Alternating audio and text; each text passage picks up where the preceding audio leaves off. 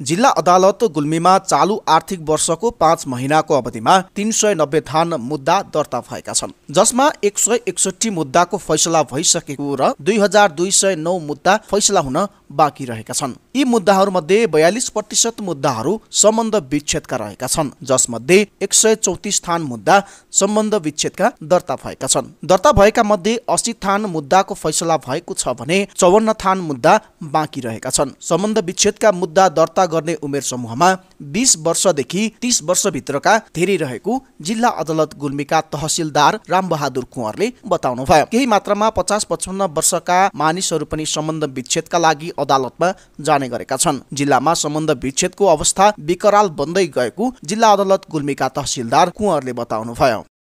अदालतमा दर्ता भएका मुद्दाहरूमा करिब बयालिस प्रतिशत मुद्दाहरू सम्बन्ध विच्छेदका मुद्दाहरू रहेका छन् र सम्बन्ध विच्छेद का मुद्दा दर्ता गर्ने उमेर समूहहरूमा बिस वर्षदेखि तिस वर्षका पुरुष र महिलाहरू अधिकांश रहेका र पचास पचपन्न वर्षसम्मका मानिसहरूले सम्बन्ध विच्छेद गर्ने गरेको अवस्था रहेको छ। र यस अदालतमा रहेका मुद्दामध्ये सरकारवादी मुद्दाहरूमा जबरजस्तीकरणीका मुद्दाहरू बढिरहेका छन्। यसरी अहिले यो सम्बन्ध विच्छेदको जुन एउटा विकराल स्थिति यस जिल्लामा पनि रहेको अवस्था छ। सम्बन्ध विच्छेदका मुद्दा बढ्नुमा कम उमेरमा विवाह गर्नु दुवै पक्षको बुझाइमा कमी हुनु पतिले पत्नीको र पत्नीले पतिको जिम्मेवारी उत्तरदायित्व बोध नगर्नु जनचेतनाको कमी हुनु वैदेशिक रोजगारीमा गएकाहरू बीच असमझदारी बढ्नु मुख्य कारण देखिएको कानुन व्यवसायीहरू बताउँछन्। अब यसमा के छ भन्दा सबभन्दा ठुलो वैदेशिक रोजगारले ल्याएको समस्या हो वैदेशिक रोजगारमा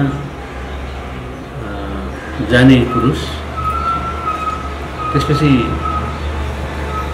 सहरमुखी भएर बस्ने महिलाहरू बस्दाखेरि त्यसमा के हुन्छ भने अब धेरै खटपट हुनसक्छ जान्छ।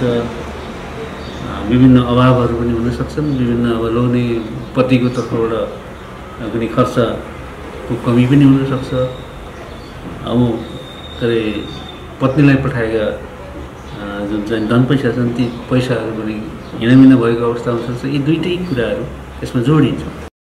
महिला र पुरुषलाई समान अधिकारको प्रत्याभूत गर्दै पुरुष पनि सम्बन्ध विच्छेदका लागि सिधै अदालत जान पाउने व्यवस्था भएपछि सम्बन्ध विच्छेदका लागि महिलाको हाराहारीमा मुद्दा दर्ता गराएका छन्। महिलाहरूलाई मात्रै नभई पुरुषले पनि सम्बन्ध विच्छेदका मुद्दाहरू दर्ता गर्न पाउने कारण सम्बन्ध विच्छेदका मुद्दाहरू बढेको कानुन व्यवसायीहरूको तर्क छ।